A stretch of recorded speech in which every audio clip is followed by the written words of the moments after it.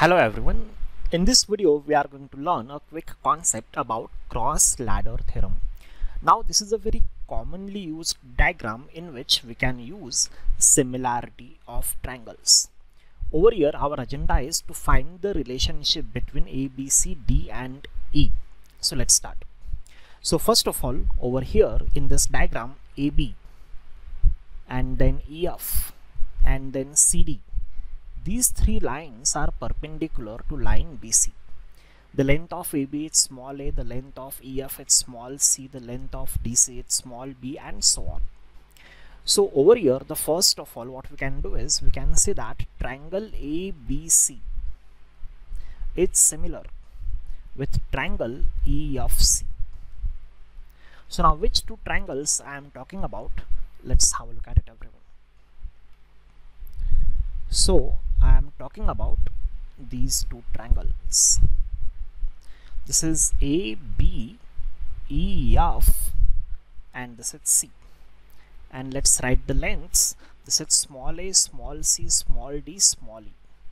So over here we can say that the length of AB divided by length of EF is equal to length of BC divided by length of FC, the ratio of corresponding sides. Similarly, we can see that triangle DCF, sorry, triangle DCB, it's similar with triangle EFB. So which two triangles I am talking about? These two triangles. This is triangle DCB and this is triangle EFB. The lengths are over here this is small b small c this is e and this is d. Now the ratio of corresponding sides dc divided by ef is equal to cb divided by bf.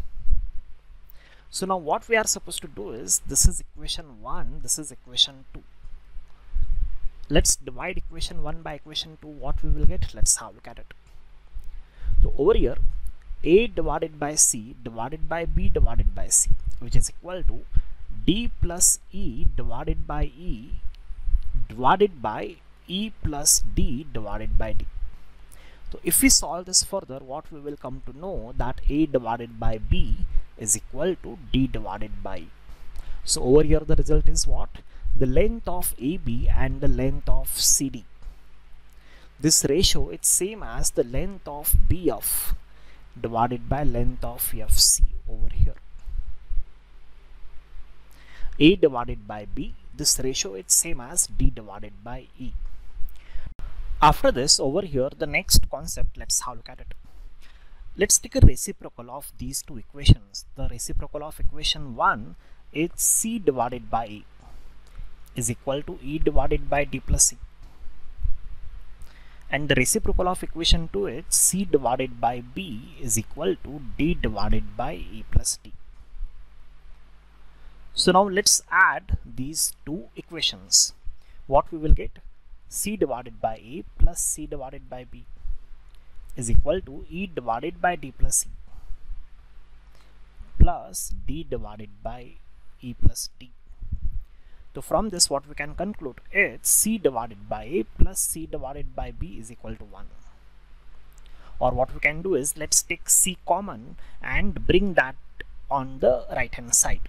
So it becomes 1 divided by a plus 1 divided by b is equal to 1 divided by c. So what is the relationship between a, b and c over here? 1 divided by a plus 1 divided by b is equal to 1 divided by c how to use these two concepts? Let's have a look at it. Before that let me quickly revise this. The first concept that we saw is the ratio of a and b. It's same as the ratio of d and e. And the second concept that we saw over here is 1 upon c is equal to 1 upon a plus 1 upon b. How to use this? Let's have a look at it. So in this diagram let's say the length of ab is 10 and the length of DC let's take it as 6 in that case the length of EF becomes how much?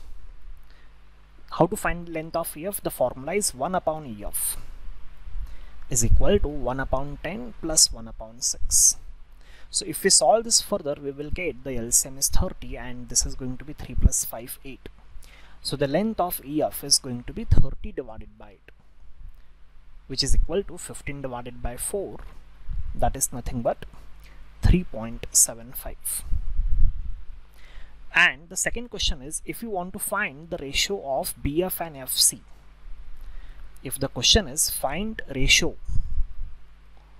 of the length of BF and the length of FC in that case we can directly conclude that the length of BF and length of FC the ratio of these two is going to be same as the ratio of AB and CD so this ratio becomes how much? 10 divided by 6 that is equal to 5 divided by 3 this is how we can use this cross ladder theorem